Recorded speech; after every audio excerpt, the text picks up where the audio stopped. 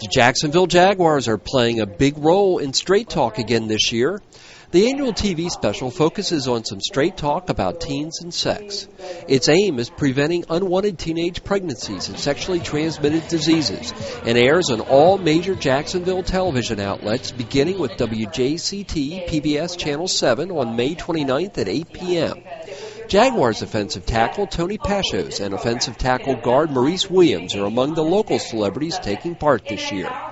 I think the program is great. I think uh, our youth definitely need to be um, informed about um, every topic, and this is just one of them um, uh, about sex sex education. They need to know what's, what's the the do's and the don'ts and what, how to protect themselves. And, um, I think this is a, definitely a good format for them to learn at an early age. Good thing for the kids. You know, it's uh, most you know the most important thing is that we're giving them information to help them stay safe, uh, lead productive lives, and, and not get themselves in any sort of trouble.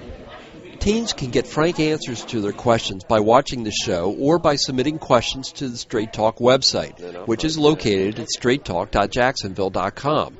The site features a complete schedule of air dates along with a professional panel that blogs and takes questions.